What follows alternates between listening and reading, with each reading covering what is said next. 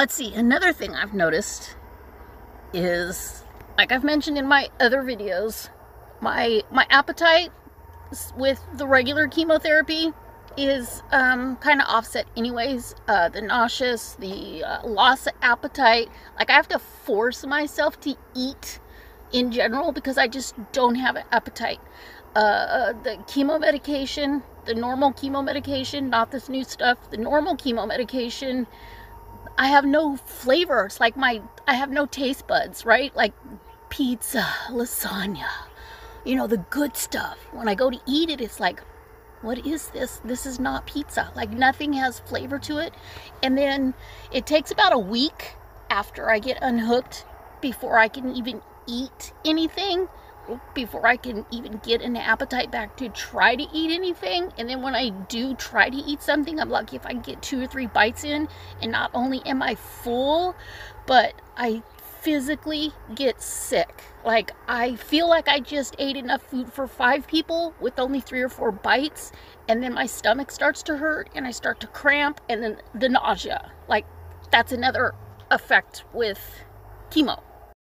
Now, it's completely different with that other medication. Um, I'll put it in the thing because I can't say the word. Starts with an O. Um, it's very high sensitive to your nerve endings I couldn't eat or drink anything cold. I literally couldn't eat or drink much of anything but crackers and warm water for two weeks. I was living, I'm, right now I'm still barely getting by with crackers, cheese, apples, peanut butter, uh, that kind of stuff. Uh, some soup once in a while, but I couldn't eat anything, like I said in my other things, without feeling like, uh, you know how you suck on a on a sour candy, how it hurts right here, my whole mouth, the back of my jaw. Um, swallowing anything cold would hurt my neck. I couldn't touch ice or anything cold. I felt like I was getting burnt. The whole tip of my tongue right now, like it's it's numb.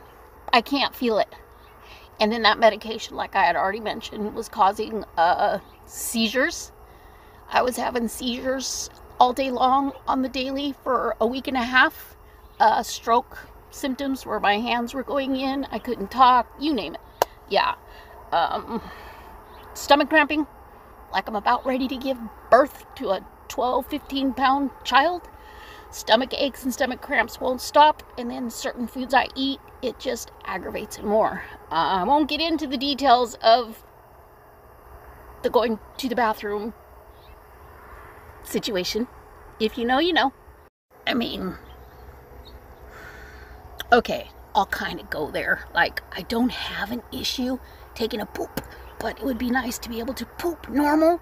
And, uh, I don't think I've known what pooping normal is. Okay, I know, TMI. I just want to have a normal poop. When was the last time you had a normal poop? If you know, you know. I just want to